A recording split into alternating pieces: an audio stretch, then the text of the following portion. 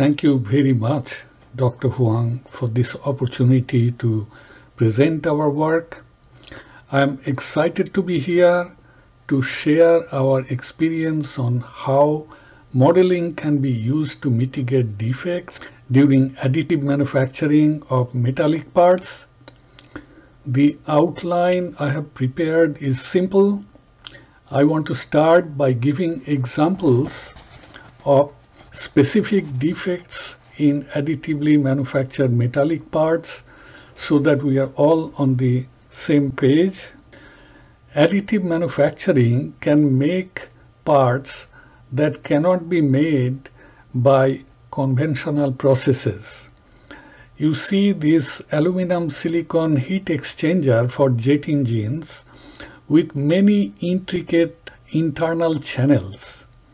These type of products cannot be made by casting or welding or joining. But we do not want any defects in the parts. So we want to focus how models can be helpful to avoid defects. Then some basic questions as to why we need models to reduce defects and what type of models can we build. I want to show how easy it is to build various types of models to reduce defects and give many examples of how models have been recently used to reduce various types of defects. Finally, a summary of what all these examples taken together mean and how we can make further progress together because everyone can contribute to modeling and this can reduce defects in parts.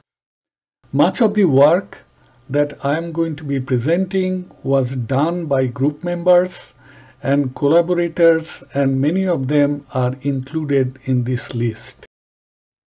These pictures may be familiar to many of you. Insufficient overlap between layers and hatches cause lack of fusion defects, which is very common in additive manufacturing. Rapid heating and cooling and their spatial variations result in stresses and strains, and in many cases, solidification cracks and other types of cracks may form. Here we see an extreme form of thermally induced stresses resulting in delamination. Also, chemical composition of the parts may be different from the powders because of selective vaporization and loss of volatile alloying elements. Printed metal parts are also often not very smooth and roughness may be caused by a combination of process variables and the type of powder we use. At very high scanning speeds, the deposited track may not be continuous and the track may break up into balls. I shall try to focus on the modeling of the top three defects in my precious 25 minutes. There are many good reasons why we want to use models to reduce defects. First, models should allow us to get values of parameters that are difficult to measure experimentally. An example would be a very high transient temperature that changes very rapidly. Also, models can reduce the total number of trial and error testing. This is important because the high cost of the feedstock materials and more important, the machines for additive manufacturing. So trial and error testing is very expensive for additive manufacturing. Also, models can tell us why defects are observed. So it gives us insight that we cannot get by any other way. Here is a quotation by Lord Kelvin. When you can measure what you are speaking about and express it in numbers, you know something about it. Models help us to do just that. It is important to select the right model and here we classify them into three categories. First, back of the envelope models, which include both the analytical and dimensional analysis based uh, models. And it's good to start here. And we will discuss several examples of these types of modeling. Next, mechanistic models based on physics. For these, physical processes must be well understood. When the mechanism is not well understood, but a reasonable volume of data are available, machine learning is a good choice. We will consider examples of both mechanistic models and machine learning. Here we consider what we need to build a back of the envelope calculation model for additive manufacturing. We need to know what variables are important for the process, we need to know the properties, specifically the thermophysical properties of the alloy that we are going to use as a feedstock. We need to know how to make the solution for the model and also we need to understand the simplifying assumption so that we know the limitations of the model. There are two common approaches one is called dimensional analysis, sometimes also called scaling analysis, based on the dimensions of the important variables. And second one is analytical solutions with simplifying assumptions, like the heat conduction model. So the solution methodology is based on the dimensions of the important variables, the testing of alternative correlations, using data and also for physics-based equations, analytical solutions, and their assumptions. For back-of-the-envelope calculations of lack of fusion, the important variables, their units and dimensions are listed in this table. Important variables include the laser power, scanning speed, layer thickness, hatch spacing, melt pool width, and other variables. The dimensions include the mass, the length, and the temperature. So if we have eight variables and three dimensions, there will be 8 minus 3 equal to 5 non-dimensional pi terms. So combining these five variables, we can reduce them to maybe four pi terms, pi 1, pi 2, pi 3, and pi 4. And these four variables would be correlated using data. We will show that the porosity fraction phi will be related to this lambda by d layer thickness by the melt pool depth delta by W, which is hatch spacing by width of the molten pool, and then these variables. In this figure, the porosity fraction phi is correlated with lambda by d, one variable, delta by w, another variable, and the big variable in the denominator here. What we see is that the data correlate well with this expression here in this figure. So this is our model, but the question we have to ask is that, remember, we had to plug in the values of melt pool width and melt pool depth. What if these values are not available? Then we will need another back of the envelope model to estimate these melt pool depth and melt pool width values. We have seen that the porosity fraction phi can be estimated from the values of all these seven other parameters. But the melt pool depth and melt pool width, they have to be available. That means we must do some experiments to get the values of these two parameters. Commonly, that is the case. But we can also estimate these values using another model. The model can be based on data or the model can be based on some simple analytical heat conduction model So we are going to look at that as to how we can obtain melt pool width and melt pool depth from the analytical solution of the heat conduction equation. The heat conduction equation is available in many textbooks. The boundary conditions and initial conditions for their solution, assuming a large plate, also commonly available and the solution is given here. Depends on the initial temperature, the thermophysical properties, and the location where we are measuring the temperature. So the temperature can be obtained in three-dimensional space.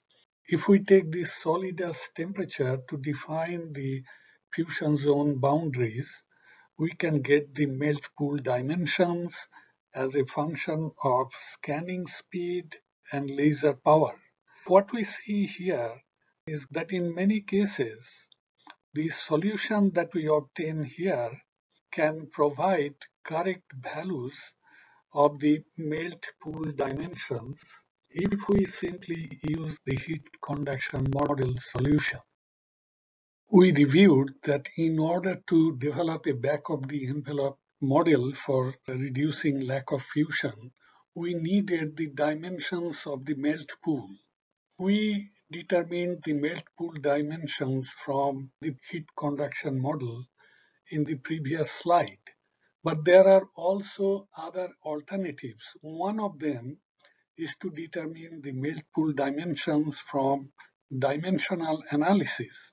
So we review the variables that impact the melt pool dimensions, find their units and dimensions, and based on the number of variables and the number of dimensions, we find that there would be four pi terms, non-dimensional terms, that can be correlated. So in functional form, one of those parameters, pi 1, which represents the melt pool depth by the thickness of the layer, is a function of pi 2, pi 3, and pi 4 given here. So if we now try to fit the data into this equation, we find a functional form such as the one given here. So delta by the layer thickness is a function of QV by HM, which is the dimensionless heat input, TP, the peak temperature by the ambient temperature, and 1 upon square root of alpha by alpha naught, where alpha is the thermal diffusivity and alpha naught is the thermal diffusivity at a reference temperature. So these three parameters can give us the fusion zone depth by this expression. And the data seem to fit well for several materials for different conditions of experiment we can use a non-dimensional equation like this to obtain the melt pool dimensions. A well-tested heat transfer and fluid flow model can calculate the fusion zone geometry in different hatches and layers. Unmelted regions between the two consecutive tracks and layers, they indicate the lack of fusion defect. To make a fully dense part, there needs to be sufficient overlap among adjacent hatches and layers. For a given alloy, higher power and slow scanning will result in larger fusion zones and less lack of fusion defects. And just the opposite will also happen. That means if the power is low, and scanning speed is fast, then the fusion zone would be smaller in size and there is likely to be less overlap between adjacent hatches and between layers. For a given set of process variables like it is given here, the thermophysical properties of the alloys determine the size of the fusion zone And this is what we see here. In the case of stainless steel 316, the fusion zone size is smaller than aluminum silicon 10 magnesium alloy. And so in the case of stainless steel 316, for these processing conditions, there is going to be lack of fusion defects. And in the case of aluminum silicon 10 magnesium alloy, there is not going to be any lack of fusion defect. Defects are a big problem in additive manufacturing, particularly cracking. What are the important variables? laser power, laser beam radius, scanning speed. There are a whole host of variables. I'm not going to read all of these, but I promise you, if you count all of these, you will get 12 important variables that can affect cracking. So if I wanted to do experiments by trial and error to avoid cracking, I will need to do, if I did a two-factor design of experiments, DOE in short, two-factor design of experiments will mandate 4,096 experiments. But if I uh, look at the non-dimensional numbers, I can bring these 12 variables down to only four. So we'll need 16 uh, experiments only instead of 4,100 experiments. How so? Think of the flow of a fluid through a pipe of circular cross sections. If you wanted to know the structure of the flow, laminar or turbulent, you will need to know the diameter of the pipe, the velocity of the fluid, the density, and the viscosity. So how many variables? Four variables. But someone who has studied fluid mechanics will say, I don't need four variables. I can use just the Reynolds number. If the Reynolds number is higher than 2100, the structure of the flow is going to be turbulent. If the Reynolds number is 5, it's going to be laminar flow. So it is like this here. If you know physics, you can mix physics with uh, data-based models. This is an example. How so? If we take these four variables, solidification stress, ratio of vulnerable to relaxation time, temperature gradient to solidification growth rate ratio, and cooling rate, we can do a regression analysis to form a cracking susceptibility index. And a higher cracking susceptibility index is bad news. A lower value is safe. Uh, no cracks are observed. Again, we can do feature importance. The solidification stress, sigma, is the most important variable, followed by the other three, vulnerable time to relaxation time ratio, the temperature gradient to growth rate, and cooling rate. So we can do a lot with data-based model. Starting with a heat transfer and fluid flow model, we can do a lot of things that are otherwise difficult to do. Distortion and residual stress are important factors. We start with a transient heat transfer fluid flow model. We do the temperature calculations and we feed this into Abaqus through a Python script. We get the residual stress and distortion calculations done using very accurate transient three-dimensional temperature fields. We can calculate the relative values of residual stresses for directed energy deposition gas metal arc, directed energy deposition laser, or powder bed fusion laser. Powder bed fusion laser has the smallest size of the fusion zone and the residual stresses are the lowest, whereas for gas metal arc directed energy deposition, the residual stresses are larger.